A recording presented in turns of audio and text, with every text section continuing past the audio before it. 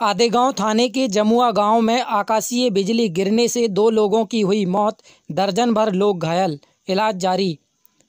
ज़िले में 11 मार्च की दोपहर बाद बेमौसम बारिश के साथ ही आंधी और तूफ़ान का रौद्र रूप देखने को मिला। इसके साथ ही आकाशीय बिजली ने भी कहर बरपाया।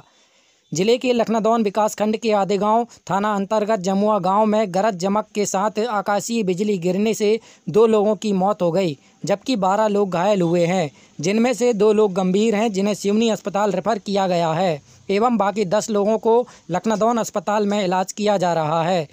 वहीं घटना की जानकारी लगते ही डायल हंड्रेड एवं स्थानीय लोगों की मदद से सभी घायलों को लखनदौन अस्पताल भर्ती कराया गया, जहाँ पर लखनदौन पुलिस प्रशासन की टीम एवं तहसीलदार मौके पर मौजूद हैं।